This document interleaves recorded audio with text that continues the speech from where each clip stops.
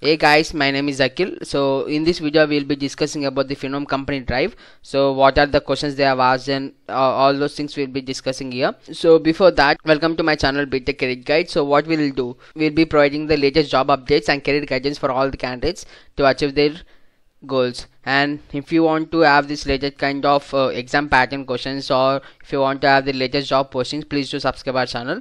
So mostly uh, they have conducted the drive. So uh, in the past around three to four days i have posted two videos of the phenom company. One is the apply link video and another one is the walk-in drive the update they have mentioned in the mails you have applied for.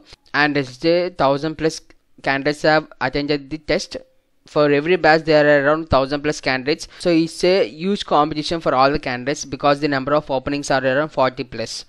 Okay? And the question format of this is that so they have given the logical reasoning 25 questions and quantitative and aptitude 25 questions. And about your family and why do you fit in this company? Around one question. And total total marks is around 75 questions. So this is the pattern they have given. So in case if you're gonna attend this company's exam or drive so don't go rather on your programming just logical quantitative aptitude family and fit.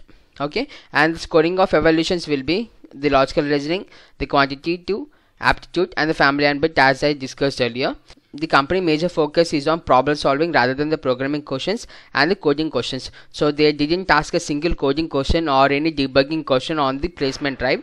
They have just asked this kind of questions the logical reasoning the quantitative and aptitude and the last one which is a basic hr kind of thing called family and why do you fit in this role. So this is the questions and the format. So in case if you want to attend in the future just make sure you revise all the topics of aptitude quantitative and logical reasoning.